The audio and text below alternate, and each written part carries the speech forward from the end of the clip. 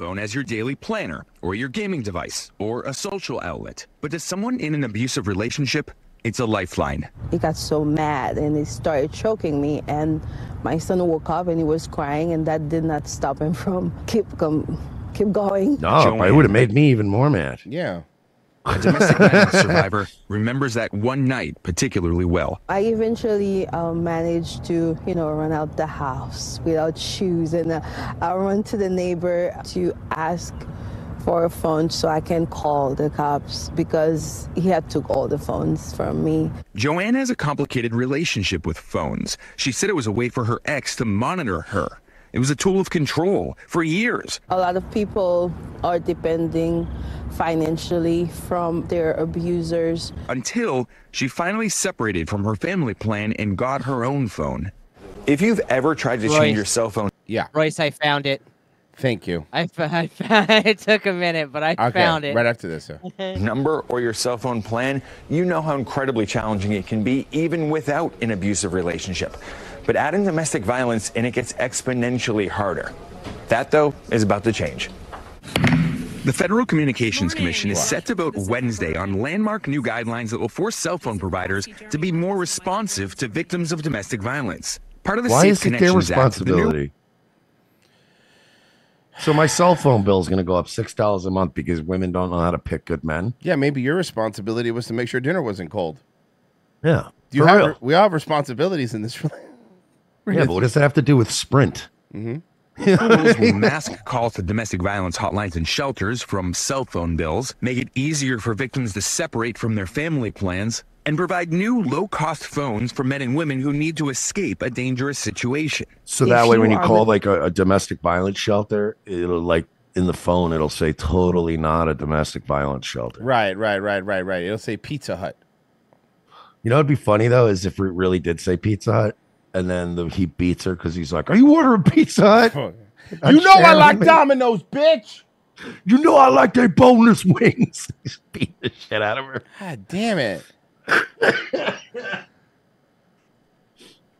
living through really unthinkable circumstances and suffering quietly with domestic abuse, it is hard to pick up that phone and call someone. And it's doubly hard if you know that there's going to be a record of it that your abuser will see. Jessica Rosenworcel, the first woman to ever lead the FCC, has been shaping the new regulations Oh, good. A woman's leading the FCC. That's cool.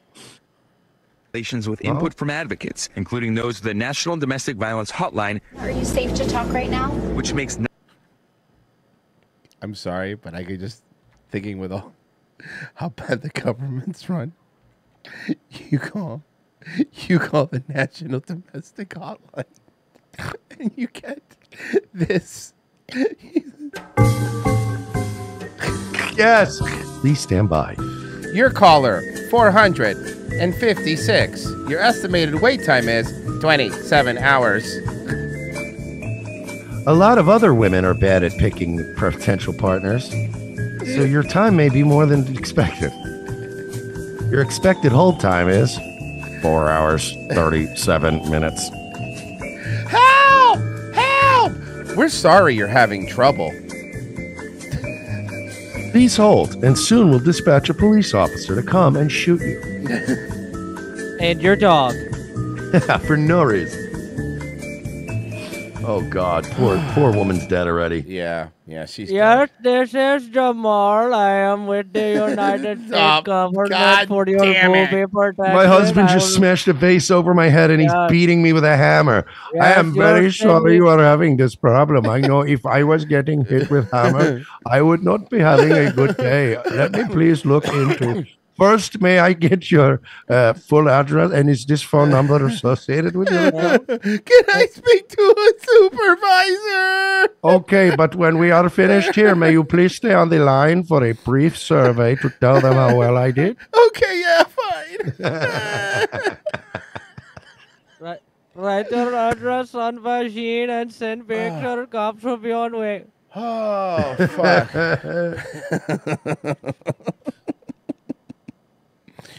Sorry, this is really fucked up. Women are getting Guys, seriously, stop hitting people. Stop hitting women. Cut it out. It makes for hilarious bits. Domestic violence is pretty funny. Oh fuck. For like fifty percent of the people, yeah. 90,000 contacts each month, more than a million each year. And most of those victims reach out via cell phone. You know, I think about when I worked in a local shelter. Yeah, that's how most people reach out. A woman out, coming in with her period. kids. Who has a landline? Who's getting beat with a landline? What the fuck? Oh, I'm gonna start crying. Wait to be Man, I swear to God. Look, if there's one thing right now, I'm going to warn you. I, I I get very violent when women start crying. Oh fuck. I cannot control it. Oh shit. I know, like my one is not a good one.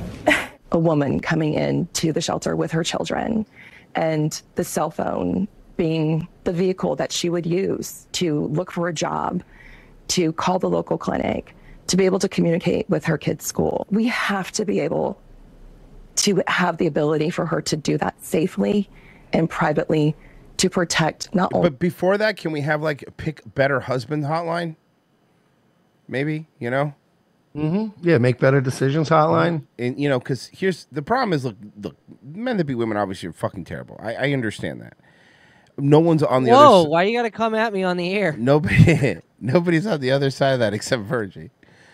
But that being said, there's a lot of these people that I've known in, per, in my personal life, right?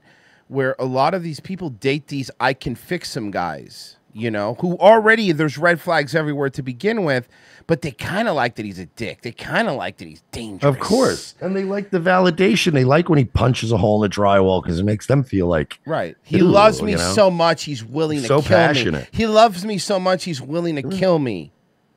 Yeah, that's that's what we want in life. That sounds great. If you want that, That means Israel really loves Palestinians. date Marilyn Manson.